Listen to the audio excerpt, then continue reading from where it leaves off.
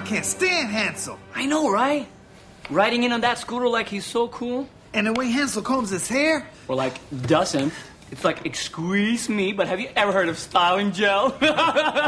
I'm sure Hansel's heard of styling gel. He's a male model.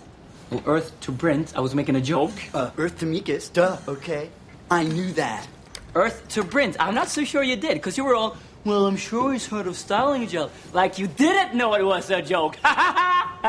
I knew it was a joke, Mikas. I just didn't get it right away. Earth to Brent? Would you guys stop it already? Did you ever think that maybe there's more to life than being really, really, really ridiculously good looking? I mean, maybe we should be doing something more meaningful with our lives. Like helping people. Uh, Derek, what people? I don't know. People who need help. Models help people. They make them feel good about themselves.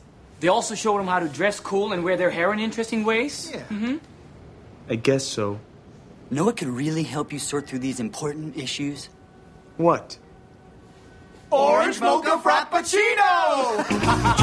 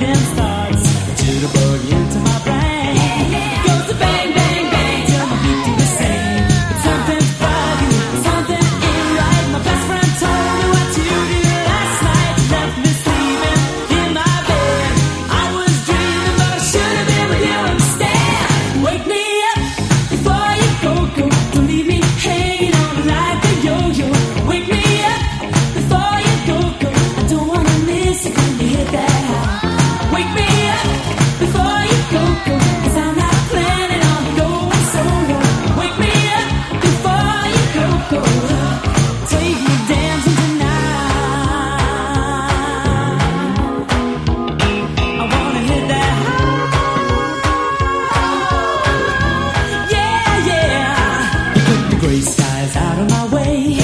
You make the sunshine brighter than the darkest day. Turn the bright spark into a flame. My beat's burning. Derek Zoolander, a model, idiot. I'm your fool. It makes me crazy when you ask.